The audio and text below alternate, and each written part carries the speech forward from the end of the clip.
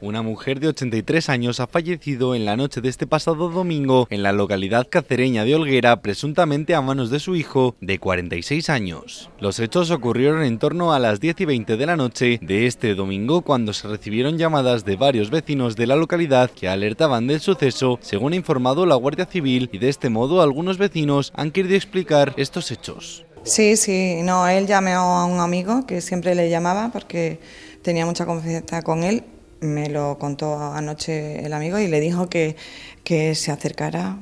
Lo notó nervioso, se acercaron eh, otras dos, tres personas más, él y otras dos personas más, y bueno, pues llamaron a los, eh, al, al 112 y acudieron ya. Yo por oída anoche decían que habría sido sobre las nueve y media o las diez o algo así.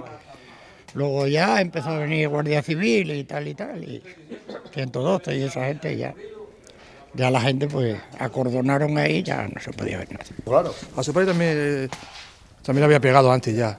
Así, la alcaldesa de la localidad cacereña de Olguera, Josefina Calvo, ha querido aclarar que ante el fallecimiento de la señora, el ayuntamiento ha decidido declarar el luto. Sí, tenemos pensado ahora ya bajar las banderas a media asta y declarar tres días de luto oficial. Ante este suceso, un equipo de Policía Judicial de la Guardia Civil ha instruido diligencias por un supuesto delito de homicidio doloso y se ha ocupado de la causa el juzgado de primera instancia e instrucción en funciones de guardia de Coria.